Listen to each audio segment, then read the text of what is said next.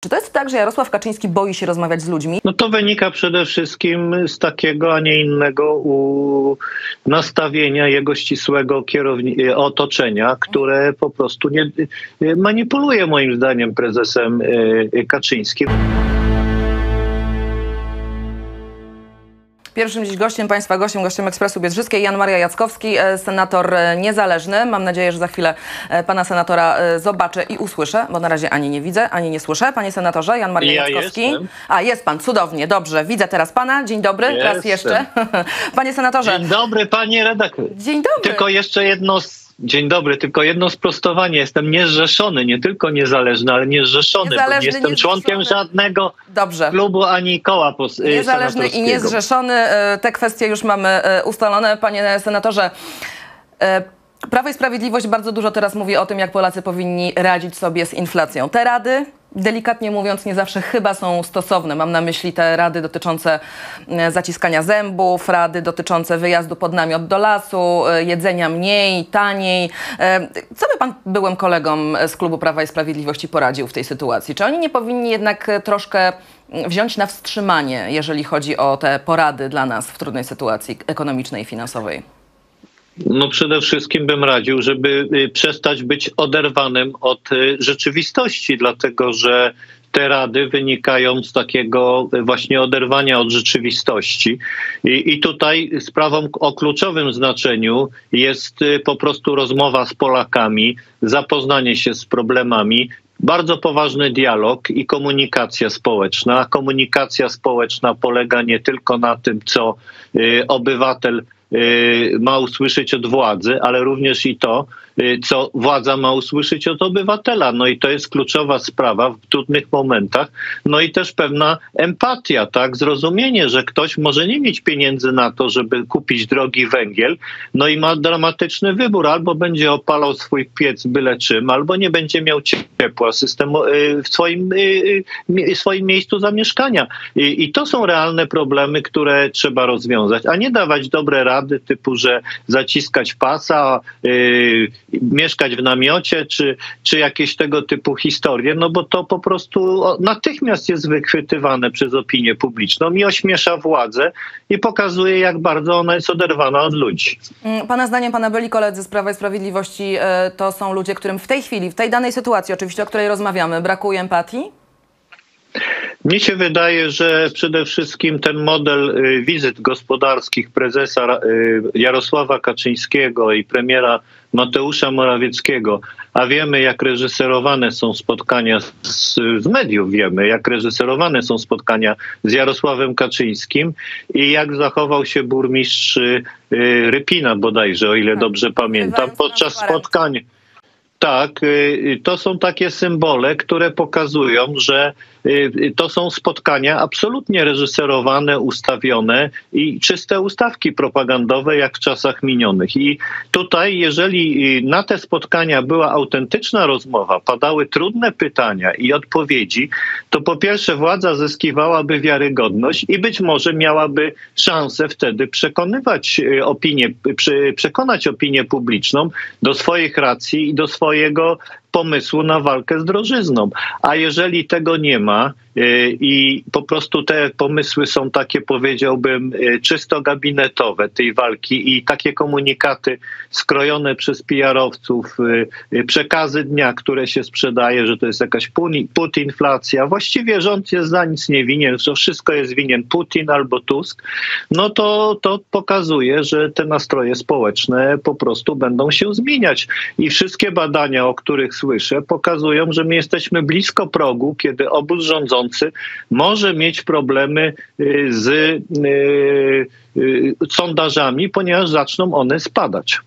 E, Panie senatorze, mm, jeśli chodzi o samego Jarosława Kaczyńskiego, wspomniał pan o tym zresztą, zresztą my też to widzimy, tak jak sam pan mm, powiedział w przekazach medialnych, te reżyserie wszystkich e, spotkań, które teoretycznie mają być spotkaniami z wyborcami, a tak naprawdę są, e, znaczy ze wszystkimi wyborcami, a są tylko z wyborcami i to bardzo oddanymi Prawa i Sprawiedliwości. Z czego to wynika pana zdaniem? Czy to jest tak, że Jarosław Kaczyński boi się rozmawiać z ludźmi, boi się krytyki, boi się jakiegoś takiego starcia retorycznego z kimś, kto może być niezadowolonym obywatelem?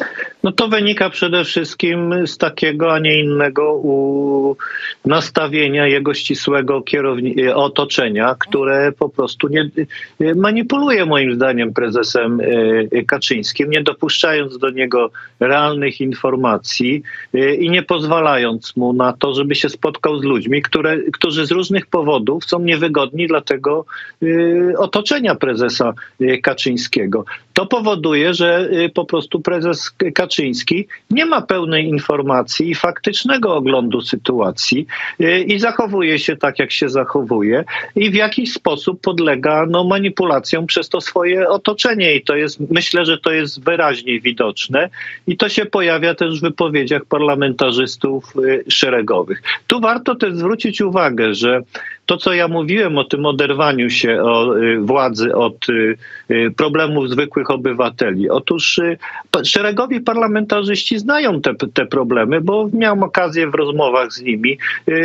kuluarowych w parlamencie przekonać się o tym. I gdyby słuchano tych szeregowych parlamentarzystów i był większy dialog w obozie rządzącym, to też by była inna sytuacja. Zresztą ja to konsekwentnie mówiłem od lat, no między innymi za to, Pamiętam, że pan mówił o tym, krytykował. słowo, ale pan mówił o tym jeszcze będąc senatorem klubu Prawa i Sprawiedliwości, że e, szeregowi e, posłowie e, i senatorowie nie są wysłuchiwani, nie mogą dostać się do tak zwanego ucha prezesa i że tak naprawdę trzeba być takim języczkiem uwagi świadczącym o większości parlamentarnej, żeby dostać zarówno uwagę, jak i ewentualne posady. Ja pamiętam doskonale tę naszą rozmowę. Tak jest y, i to niestety tutaj się niewiele zmieniło i widać, widać wyraźnie, że ta lekcja nie została odrobiona, a rzeczywiście obiektywnie rzecz biorąc sytuacja jest bardzo trudna i polityczna, międzynarodowa i gospodarcza. Jest kryzys gospodarczy i to nie tylko w Polsce zaczyna się, ale szerzej w, y, w Unii Europejskiej Y, i mamy y, również narastające napięcia społeczne, które się pojawiają, drożyznę, inflację. To są wszystko bardzo trudne dla władzy problemy i teraz trzeba mądrze te problemy rozwiązywać. Dlatego i w interesie samej władzy, ale przede wszystkim w interesie obywateli i państwa polskiego. Y, I tutaj jest potrzebna pewna pokora, pewien pomysł, pewna umiejętność właśnie dialogu społecznego, szybkie reagowanie, odpowiednie decyzje. Y, Jeżeli te decyzje muszą być niepopularne, a czasami tak bywa, że w takich sytuacjach kryzysowych takie są, no to trzeba umieć y, jasno, wiarygodnie wytłumaczyć, dlaczego trzeba podjąć takie decyzje. No, pani, y, znamy z historii premiera Churchilla, tak, który jak został premierem w trudnej sytuacji, gdzie Wielka Brytania przystąpiła, przystępowała do, do wojny, no to powiedział, obiecuję wam pot, łzy i, i, i krew, tak? No bardzo twarde przemówienie, ale był wielkim przywódcą i rzeczywiście w trudnym momencie politycznym, no skrajnie trudnym, bo woj, wojennym, przeprowadził Wielką Brytanię w jakiś sposób. No, na tym polega właśnie przywództwo, że czasami trzeba umieć powiedzieć rzeczy niepopularne, y, ale trzeba być, no, mieć pewną charyzmę i umiejętność przekonania. Panie senatorze, to ja zapytam wprost, a pan widzi ten pomysł, tę pokorę i tę chęć do dialogu w obozie rządzącym? Ech, U części polityków to jest widoczne. Kogo na przykład? E, Myślę, że. Ja nie będę tutaj może dlaczego? e, recenzował. No, e, pani redaktor, no po prostu e, myślę, że to, co powiem za chwilę, to pa, da, będzie odpowiedzią na pani pytanie. No. To znaczy, im, im bliżej obywateli jest dany polityk, tym ta chęć jest większa. Natomiast im bardziej jest oderwany od rzeczywistości, to jest takie przekonanie, pewne poczucie y, takiej wyższości, że ja wiem lepiej. To jest bardzo groźne zjawisko, bo jeżeli ktoś był zręczny przez lata, y, uprawiając politykę, y, wycinając wszystkich swoich przeciwników, w porę neutralizując niebezpieczeństwa dla jego pozycji i osiągnął mocną pozycję polityczną w kraju czy na scenie politycznej, to jest przekonany, że wie lepiej.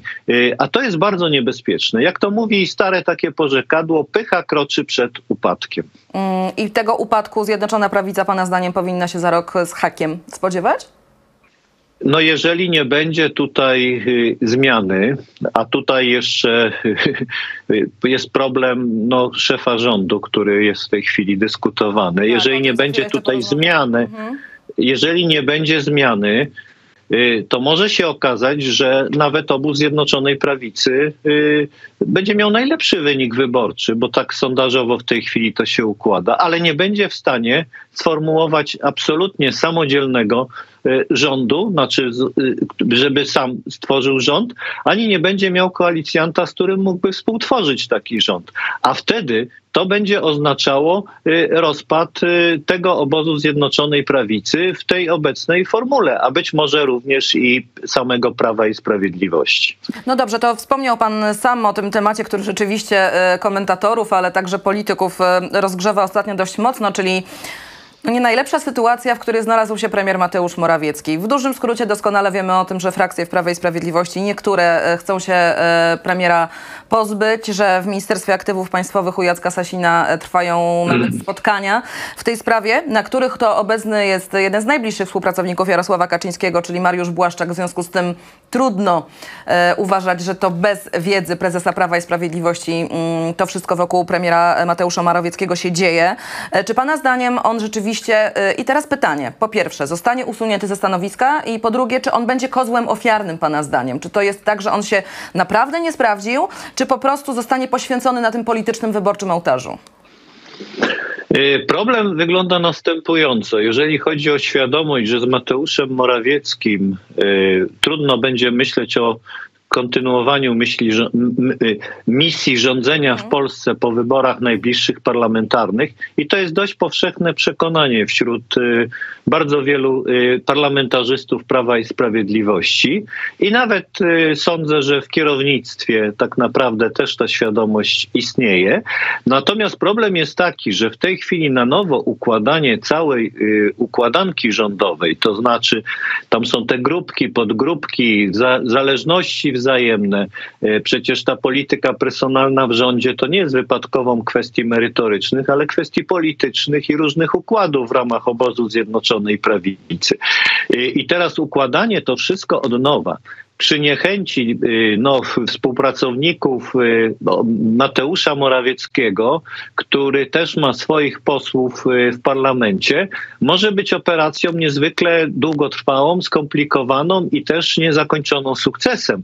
I myślę, że ta, to jest ta świadomość, która, której może trochę brakuje w tych a może nie brakuje. Ja nie biorę udziału oczywiście w tych spotkaniach u pana premiera Sasina, mhm. ale to, to, jest, to jest ta świadomość, która z kolei wpływa hamująco na próby wymiany premiera przez y, y, Jarosława Kaczyńskiego, który ma świadomość tego, jak to jest y, misternie trudne do złożenia. Więc to jest trochę kwadratura koła. Z jednej strony jest obciążeniem, z drugiej strony jest bardzo trudna operacja wymiany premiera, która za jakiś czas z punktu widzenia politycznego będzie koniecznością. Raz, że będzie, jest twarzą tych wszystkich nietrafionych pomysłów. Dwa, że wprowadził w błąd y, kierownictwo obozu rządzącego, bo przecież negocjował KPO i te warunki, które zostały tam zawarte, no z tego co wiemy, bez wiedzy czołowych polityków obozu rządzącego, no jeżeli pani marszałek Witek dowiaduje się z mediów, że ma zmieniać regulamin Sejmu, bo tak ustalili urzędnicy pana Morawieckiego z urzędnikami Komisji Europejskiej,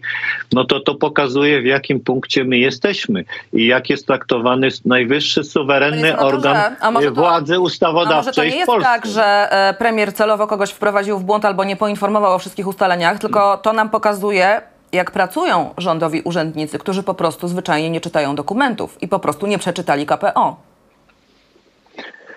Tego nie wiem. Sądzę, że e, strona e, Komisji Europejskiej, która brała udział w tych negocjacjach, no było to punkt po punkcie.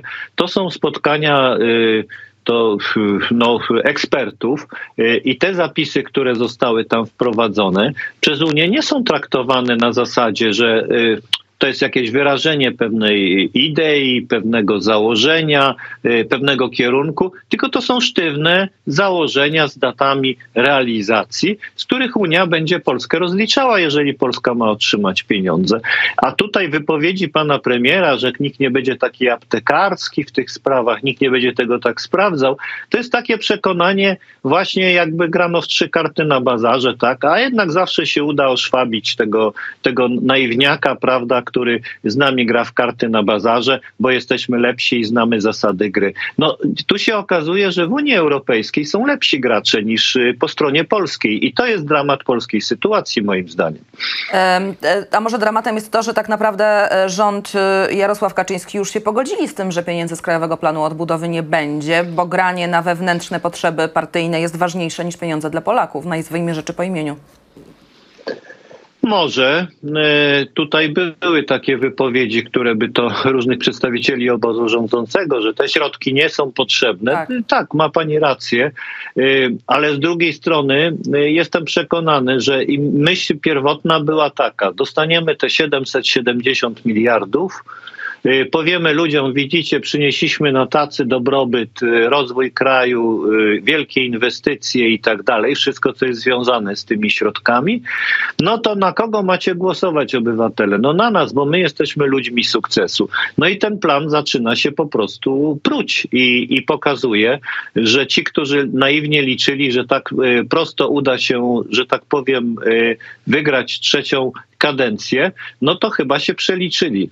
A skutki dla Polski tego wszystkiego no są fatalne, bo po pierwsze nie mamy tych pieniędzy, po drugie, zgodziliśmy się na pewne koncesje w stosunku do Unii Europejskiej, czyli nie ma ani honoru, ani pieniędzy. No więc y, z punktu widzenia, z punktu widzenia y, zasad, jakie w życiu publicznym i w polityce obowiązują, no to można pogratulować takim negocjatorom i takim kierownikom stery, na, y, związku- steru nawy państwowej. Czy w związku z tym, że nie ma, jak to pan pięknie określił, ani honoru, ani pieniędzy, jakieś konsekwencje polityczne powinien ponieść premier Mateusz Morawiecki? Moim zdaniem tak, ponieważ y, on y, z punktu widzenia polityki obozu rządzącego, podkreślam, z punktu widzenia tego, popełnił piramidalny błąd, zgadzając się w lipcu 2020 roku, a więc równo dwa lata temu, podczas posiedzenia Rady Europejskiej na zasadę pieniądze za praworządność. Pamięta pani, że wtedy tłumaczył, że to chodzi o korupcję, że Tak. to nie chodzi o praworządność, że to w ogóle taki zapis, że jest intencja, że to nie będzie przestrzegane i że tak powiem, y, taka propaganda na użytek wewnętrzny była uprawiana w Polsce, choć wtedy już i pani Ursula von der Leyen i inni komisarze mówili, że to będzie zasada, która będzie w praktyce stosowana. To nie jest jakaś fikcja, tak zapisano po prostu, żeby ładnie w dokumencie wyglądało.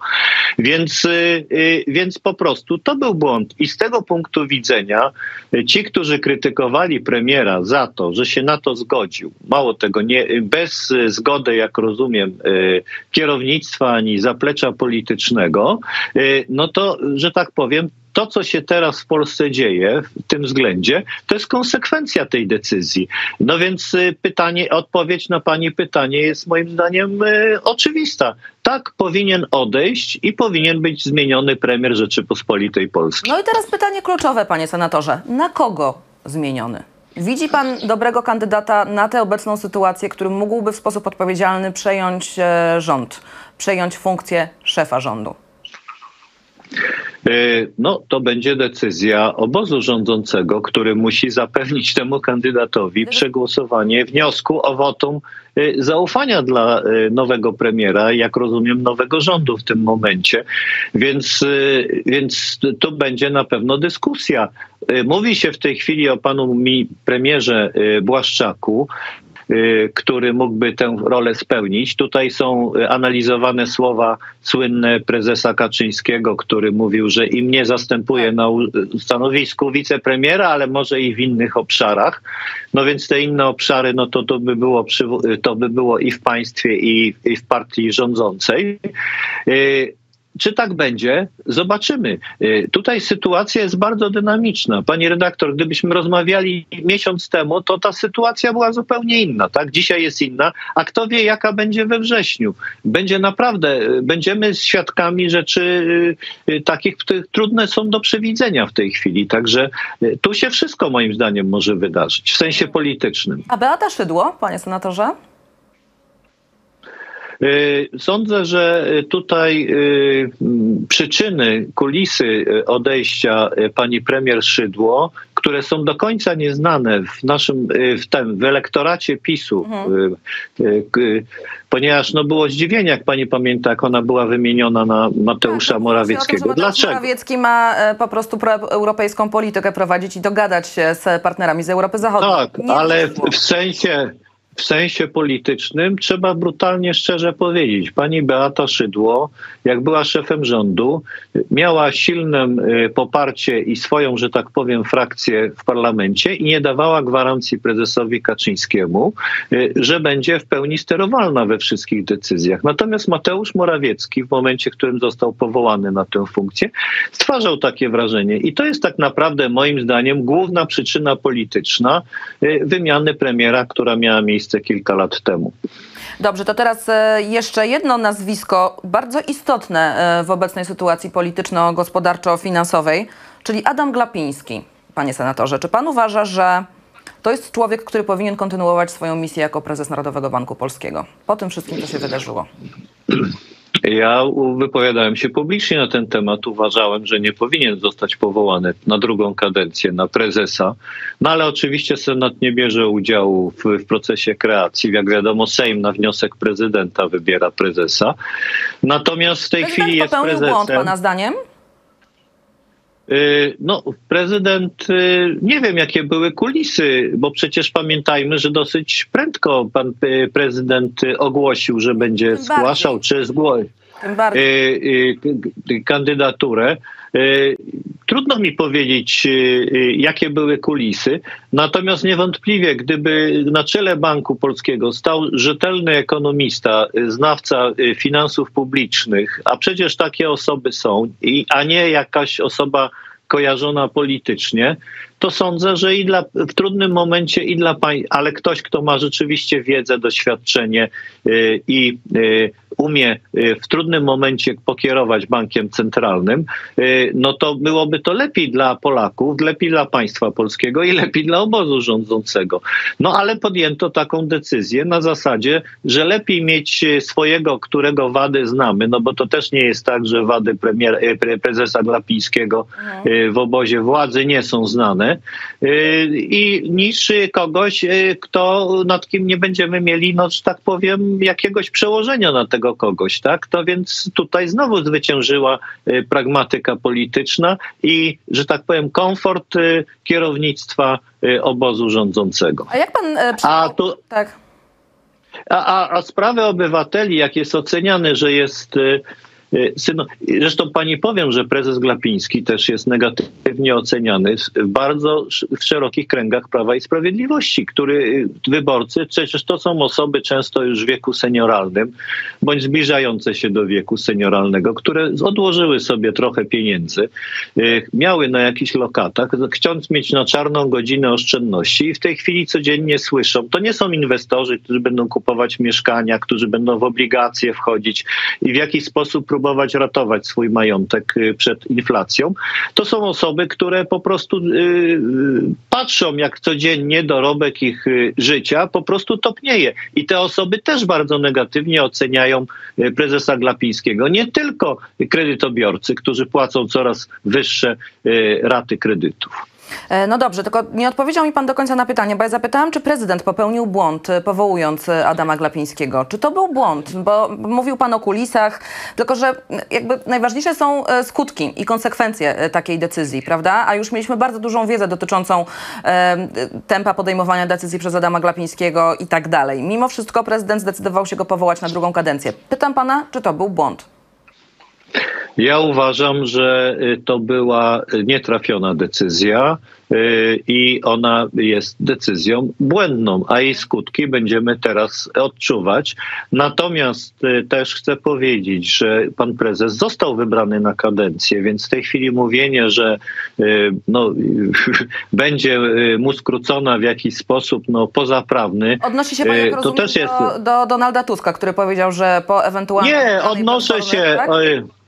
Nie, ja po prostu uważam, że no, y, opozycja powinna jednak szanować pewne zasady państwa prawa. No jeżeli będą podstawy prawne, to oczywiście, jeżeli będzie możliwość odwołania prezesa, jeżeli oczywiście obóz y, y, Zjednoczonej Prawicy nie będzie u władzy, a opozycja będzie miała większość w Sejmie, to jeżeli takie środki, to będę temu kibicował. Natomiast jeżeli to by miały być pozaprawne środki, to absolutnie nie będę, mimo całej mojej krytyki dla prezesa Glapińskiego. Nie, sądzę, żeby mm, tutaj ktokolwiek chciał działać niezgodnie e, z prawem, ale e, dobrze, zostawmy to, bo to jest jeszcze pieśń przyszłości. E, Donald Tusk to zapowiedział. Jego problem, żeby jakby no, słowa dotrzymał i nie, nie rzucał ich na wiatr. Teraz chciałabym jeszcze właśnie o tej wojnie takiej, w której wchodzi, w którą wchodzi Adam Glapiński, w tę wojnę polityczną.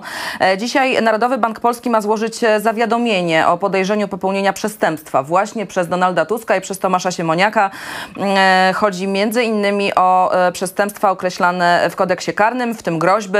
Czy Pana zdaniem rzeczywiście sytuacja nabrzmiała e, no, w takim stopniu, że Adam Glapiński powinien poświęcać sobie samemu i tym słowom w dyskursie politycznym, no wiadomo, raz mocniejszym, raz mniej mocnym, tyle czasu i zaangażowania i czy rzeczywiście ta sprawa powinna trafić aż do prokuratury?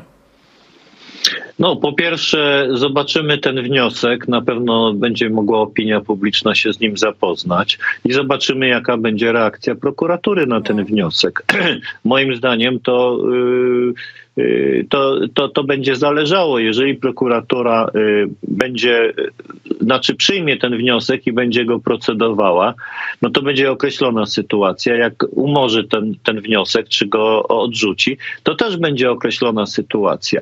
To, że prezes Glapiński y, takie działanie podjął, no z punktu widzenia formalno-prawnego ma do tego prawo. Czy to jest politycznie trafiona decyzja? No to na pewno będzie tylko zwracało uwagę na sposób y, jego prowadzenia spraw y, y, Banku Centralnego. My jesteśmy w takiej sytuacji, w której już e, nie zastanawiamy się, czy się, prokuratura się tym zajmie, czy nie.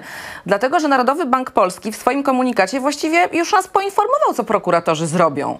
Dlatego, że dalsza część tego mm, komunikatu brzmi tak. Prokuratura zbada ich bezprawne wypowiedzi pod kątem ewentualnego wypełnienia znamion przestępstwa. Czyli mamy sytuację, w której Narodowy Bank Polski e, no już wie, że prokuratura się tym zajmie, prawda? No, więc tutaj kolejna e, kuriozalna zupełnie sytuacja.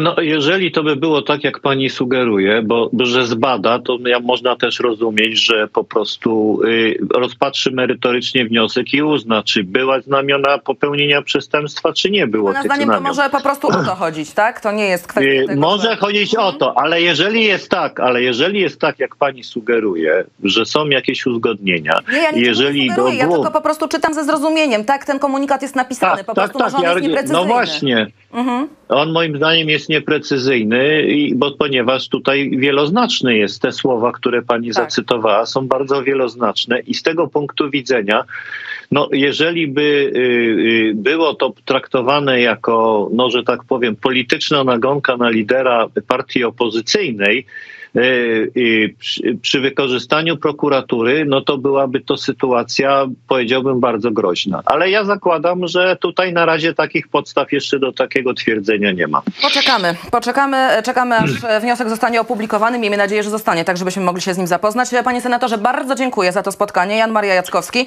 senator Dziękuję. Miłego dnia. zgodnie z sugestią, tak przedstawiam. Dzięki i spokojnego, dobrego dnia. Do zobaczenia. Również do zobaczenia. Pozdrawiam.